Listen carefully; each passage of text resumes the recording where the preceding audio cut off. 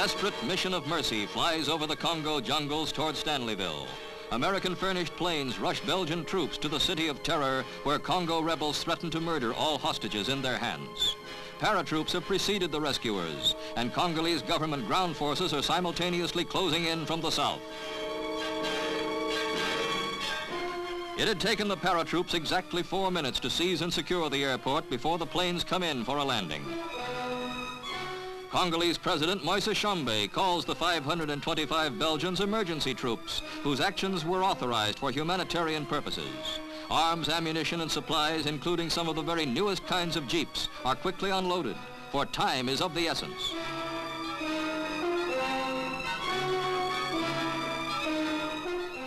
But for all the speed and efficiency of the operation, to many it comes too late.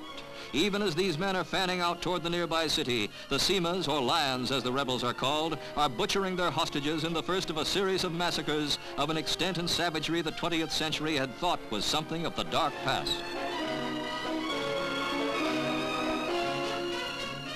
The entering troops find the streets of Stanleyville quiet with the quiet of death. Simba leaders have fled, leaving behind them their bloody handiwork. Among the victims are Dr. Paul Carlson and Phyllis Rine, American missionaries. The rebels, too, suffer casualties. Weapons found on some bodies are reported to be of red Chinese make, and Peking is known to have been abetting the rebels from its embassy in neighboring Burundi. Survivors are gathered up for evacuation. Not all are white. Simba fury is directed also against Congolese loyal to the government. Refugees gather at the airport waiting to be airlifted to Leopoldville. Every hour brings word of new atrocities beyond the slaughter of the first 29 found in downtown Stanleyville. Paratroops pressing on to other cities find similar grim evidence. Reports of the number of dead or wounded leap almost every hour and probably will continue to do so.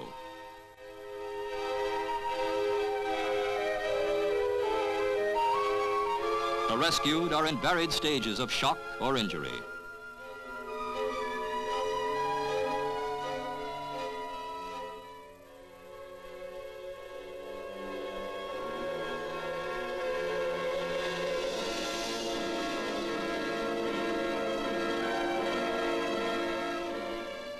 Some of the refugees who possibly did not observe the carnage seem happy just to be alive.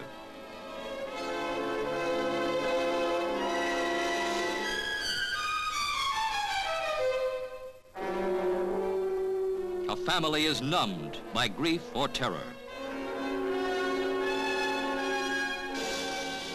While an old lady is almost hysterically grateful to her rescuers.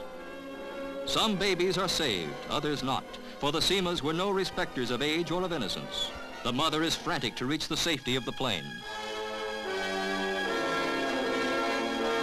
Now the same plane that brought the soldiers in takes off for Leopoldville.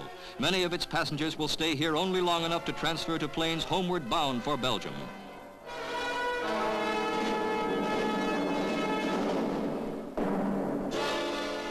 First to be taken off are the dead. A U.S. Marine Guard of Honor is waiting to drape the bodies of the two Americans with their country's flag.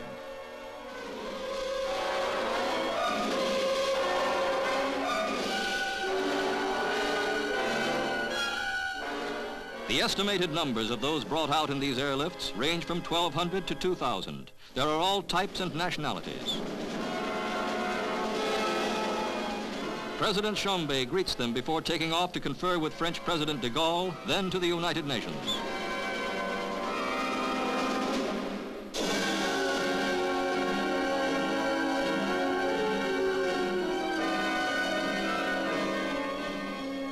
For the rescue of these pitiful and guiltless people, the United States, Belgium, and Britain are, as to be expected, accused by communist nations of aggression.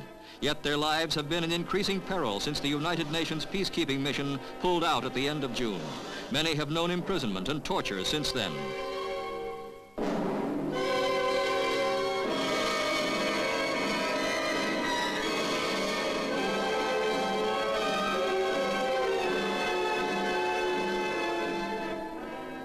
One woman is in an obvious state of deep shock.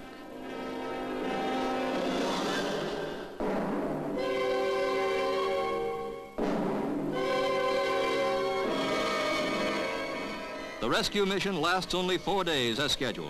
As soon as the troops leave, the rebels are again to sweep into Stanleyville. Still remaining in mortal danger are hundreds, perhaps a thousand, in inaccessible parts of the jungle. More bloodbaths may be expected before the agony of the Congo is ended.